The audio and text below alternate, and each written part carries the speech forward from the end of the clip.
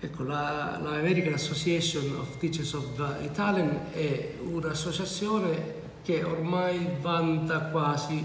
100 anni di uh, e accomuna diciamo, docenti ma anche insegnanti di scuole superiori in tutto il Nord America ma anche in, in, altre, in altri paesi dell'Europa, de, de, de, del mondo più o meno circa 25 diversi ah, questo convegno qui a Cagliari.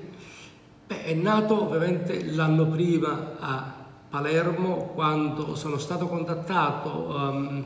oh, mi è stato chiesto prima da uh, Laura Nieddu,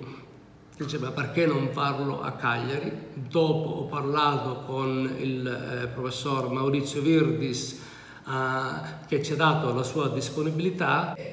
abbiamo deciso che Cagliari era una sede opportuna diciamo, per fare questo nostro convegno e devo dire diciamo, che quando scegliamo un'università la scegliamo con cura, la scegliamo con cura perché uh,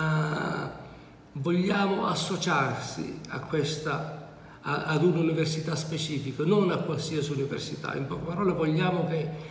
eh, diciamo, questi convegni, con questi convegni diciamo, l'università metta in luce in un certo senso l'ETA e non viceversa.